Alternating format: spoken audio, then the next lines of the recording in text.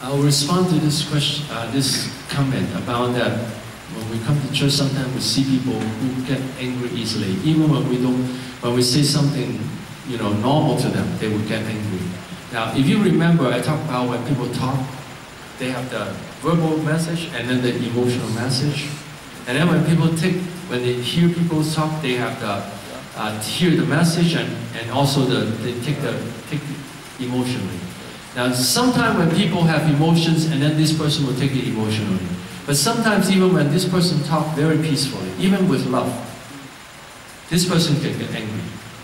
For instance, someone come to person and say, well, I um, want to do something. Uh, can I do something to help you uh, in your situation? I, uh, you know, uh, whatever situation it is. This person could get angry and say, do you think you're better than I am? You think you can help me? You think I cannot help myself? I mean, because he doesn't like people to offer help.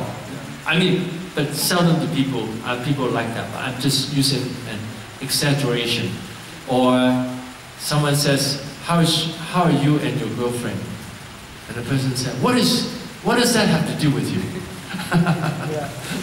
because they, they have some problem with a girlfriend, or, or themselves, they themselves have some low self-image. So we, we look at ourselves, and we look at the people around us, and you notice some people get angry easily, and or family members. Now family members get angry easier. Why? Because they don't want to pretend anymore. And the real self come out. And they don't think they have to show love. In a family, they just say, you didn't do it. Basically, in marriage and in family, most people demand others. You didn't do it. You should do that. Now, but the Bible teaches love. What can I do for you? Can I do anything to help you? And so, the Bible teaches love, but people always, they demand. Instead of making the verse, uh, love your wife, husband, love your wife as Christ loved the church, they would say, husbands, demand your wife. demand from your wife. So people, you know, very often they have lies in the heart. When my wife doesn't do that, I'll get angry. Now this are lies. So we have to untangle these lies. Many people have lies, for instance, saying, if you get angry, you're more powerful. If you talk loudly, you're more powerful than the next person. And you can convince the person. So these are lies that people believe. So we need to help people untangle these lies, to understand the lies uh, when they talk like that, and, uh, and then help them. But we don't want to say that it's a lie. We want to say that, um, do you want the marriage to improve? Do you think the marriage can improve? And then guide the person to, to realize the problems and find a solution. So whatever it is, when you see a person behave a certain way, then you can help the person. Let me share with you one experience I have on the mission field. There was one person I knew on the internet, and we, I knew him for years, and then he started to arrange for me mission trips. And, and the first time, he told me I can go to a certain place. And then I agreed to go. And then, before I left, I, I asked him, I asked him, uh, when I come, when I get off the, the plane, do I, you know, from the airport, when I take the bus to the train station, I have to go from the, from the airport to the train station. Do I take the bus? He told me there was a bus I can take to the train station. Do I take the bus on the same side as the airport or the opposite side? Do I cross the street? And he get frustrated. Why do you ask little things like this? And then, now I realized there's some problem, but I did not talk to him about that at that point. But I just told him, I have to be dragging luggage. And I would look for a bus stop. And then when I go to the bus stop and wait for the bus, and the bus comes, and then they says, they say, oh, this bus doesn't go to the train station. And then I cross the street to the other side. So I don't want to be doing that. I don't want to cross, you know, cross the street. I know where I'm going. So, okay, so he, and then he said, actually, I don't know. and then he, he, I thought he knew. He could have said, I don't know. You find out. Okay. Now I realize he has some problem. But then, I haven't seen him personally. I only saw him on a picture on the internet. And, and I know that for someone like that, it's not time for me to talk to him yet about his problem. So when I saw him, I just went as normal to go to the mission field and do ministry uh, with, to, the, uh, to, to the churches there. And then on the way back, when he took me to the train station, he talked to me. He said, Pastor Yip, the moment you start to preach, I have a total different image of you. Before you preach, I did not understand you so well. But when you start to preach, I felt the power. I felt, I felt, I so saw how you are. I thank God for that. I give glory to that. Then I realized he was open to me. And then I said to him, thank you. Thank you for saying that. It's very nice of you to say that. Um, and I care about you. And I want to ask you one question.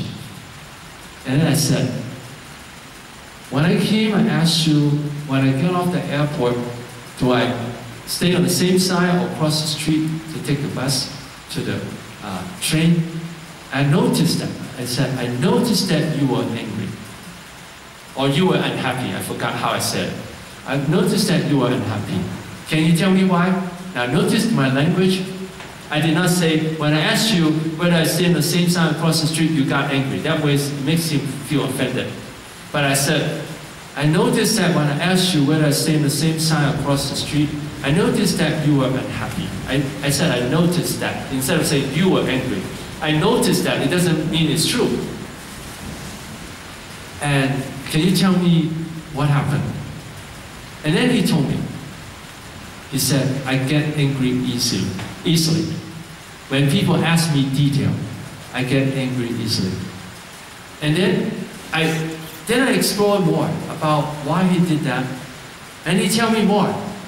That he was always angry from childhood, that his um, uh, that you know, at his home even he was like that, and with the people around him, the people around him were like that too. So he told me the story, and I I tried to guide him and counsel him, and I guide him, I counsel him more on the internet.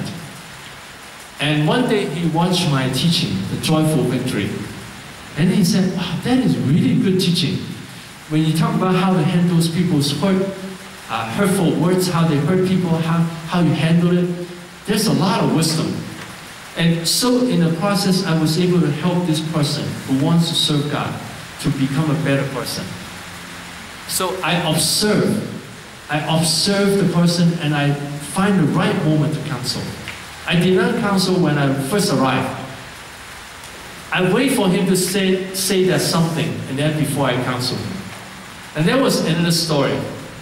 We want to wait for the right moment. One time someone asked me to go and pray for a Christian's daughter who has evil spirit and also mental disorder. But this person who took me there told me that this man whose daughter has problem, this man has a problem with another minister and have yelled with the minister and they, they are not on good terms now. And they have problems. So the father is problem. And now the father asks me to help the daughter. Now I realize this is a problem. I have to help the husband, the father first before I can help the daughter. And then, and then the father came to meet us and take us to the daughter. And then on the way I talked with him. Talked with him about a number of things, how God is wonderful, and then how God can heal people. And then he said, yes, I want that healing. I'm happy about that, I like that. And I know that is the right moment. And then I said to him, Can I talk to you about something? He said, Yes.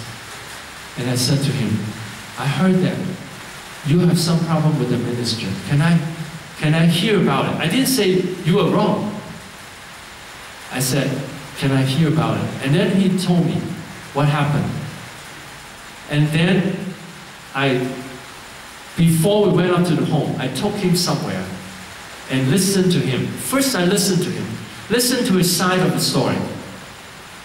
And then I tried to guide him to understand the minister and to forgive the minister and to be at peace with the minister. And later I was able to have the two of them say sorry to each other and forgive each other.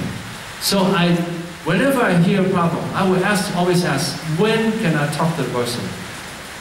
When is the right time and what is the right way to say it to him? Now if I just tell him, I heard that you are angry with a minister, how can you ask me to pray for your daughter? You have to repent. He's not going to change because that's something, a long-term hurt, a long-term problem. We have to untangle the problem, help the person before I can help the father and then help the daughter. Can you, can you understand this? And have you seen problematic people in the church? Very hard to help because they have problems that are tangled together. Tangled together that the life is totally, you know, maybe partly out, of control, that they could not handle the problem, and we have to learn them to untangle the problem gradually to take care of the problem. So that is the wisdom of counseling to break down the barriers, to break down the sins step by step to help the person to repent and turn to God. So that's the, the wisdom and the necessity of counseling. I hope you understand that. For instance, if I notice anyone I'm ministering to have problems, I will for sure talk to the person. I will for sure, but I will find a way to talk. Find a way to show acceptance I will not just say you were wrong. You have spiritual problem. I don't talk like that. If I talk like that, immediately the person will build up defense. Because in the world, people are used to hearing negative words, criticism, and they will build up defense. So I have to care about the person. How do you feel about uh, yourself? How do you feel about relationship with God? How do you feel about your relationship with the family members? And has those things affected you? Has the relationship affected you? And then he will start to talk. And then I know where to help him. You might say it takes time. But when you can help a person, and then after you help the person, you say, now I've helped you. Do you find this helpful? And he said, yes. And then you say, do you want to serve God also to help other people to take care of the problems so that they can be free of problems and serve God? And that is something you can do too. And that way we encourage people to serve God. When we encourage people to serve God, we don't just tell them, you serve God, God will reward you. That's what we tell them too. But we want to tell them, God has helped you. You can help other people too. Do you want, you know, that your problems is taken care of, that you learn how to help other people and, and uh, to be able to uh, counsel people or, or minister to people. Now, one thing I want to remember very well in counseling, don't teach so fast. The moment you do that, for instance, you notice a person who get angry easily, and then you start to talk to him. Let you know, don't let your anger stay until sunset. And then you say, Are you telling me I'm angry? and then you can say. so that's He's not ready for that. But then, and then we can ask him about his feeling towards certain things and, you know, and how, can I help you with, can I pray for you? Is there anything I can pray for you? That's one thing you can say to them. Is there anything I can pray for you? And there can be a ministry time too. And uh, before the church start, you can say, okay, now our, our co-ministers will come to you and ask you, is there anything I can pray for you? And then you go to the people and then the mature people will go to the other people and ask, what can I, is there anything I can pray for you? And the person says, yes, I have problem with, if they are willing to say, I have problem with my wife. I have anger. I cannot sleep well. Now, I cannot sleep well reveal a lot of problems behind them. So all this, you'll find out. And then you pray for the person and you start the path of helping the person from that time on. That, so that could open the way for counseling, for helping, if there's a time to pray for each other uh, before, the, before the service.